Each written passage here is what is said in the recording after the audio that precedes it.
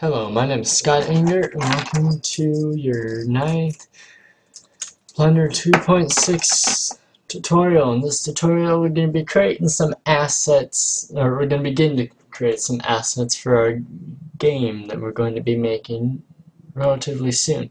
So, we're going to create a, a, a hangar of sorts, like an airplane hangar. So let's open up Blender. Let's start. Uh, let's begin our little hanger thing. So we're going to delete the default cube. I'm going to shift A and uh, let's use a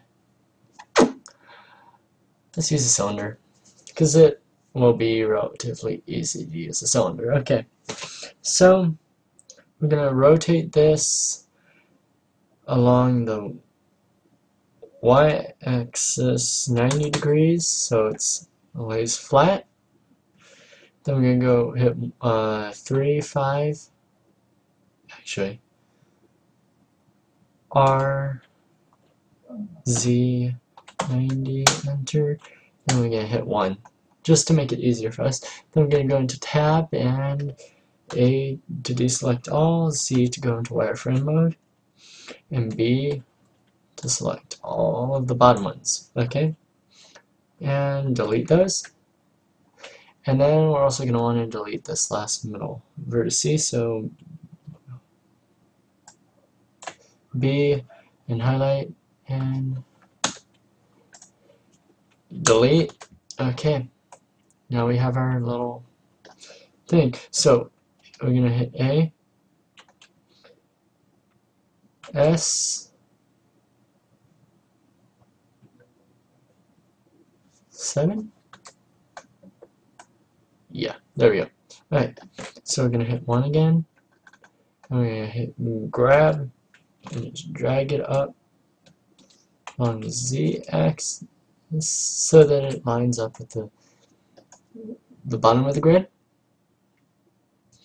Then I'm going to hit 1 again, extrude, and click right away so that nothing is done. Then we're going to hit S, Z, and bring down the size on the Z axis, and then S, X to make that smaller. Now we're going to hit G, bring that down, and Z.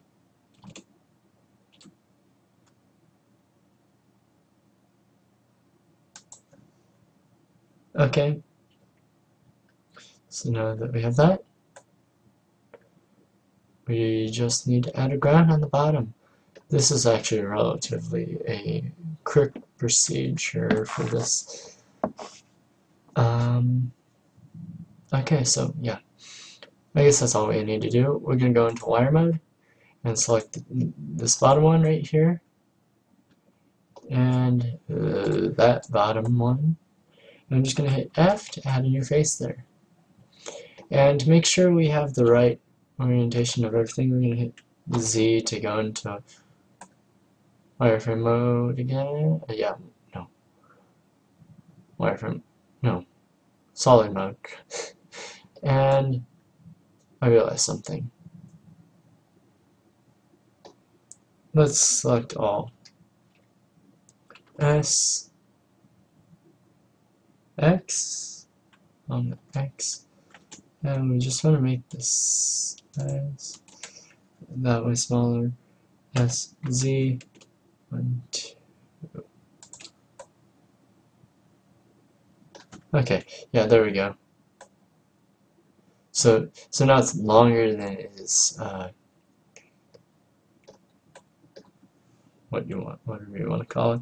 I'm gonna hit one I'm gonna hit grab and I'm just gonna bring it z to as close as possible we can get it to the bottom.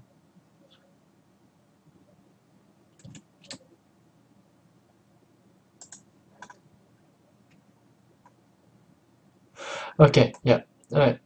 So, know I'm actually going to go ahead and in this tutorial I'm going to uh, get this ready for UV.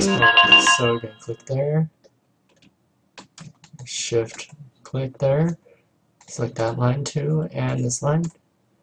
And we're now going to hit Control E and mark seam. Then we're going to hit Alt and select this and Shift and then uh, while still hold, holding Alt and select the next one and Control E and mark seam. We're going to do the same thing to the other side. Alt, Control Alt, and uh, Alt, Alt M. No, this is Control E. Mark C.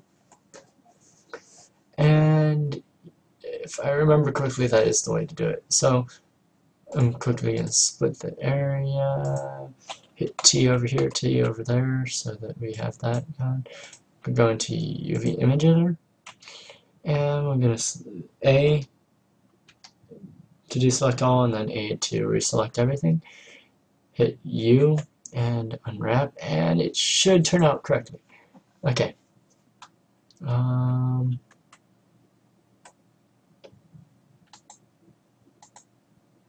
go into face mode so we can see what we're doing.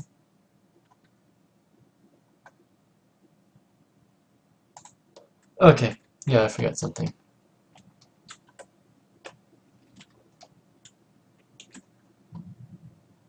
So instead, we hit A.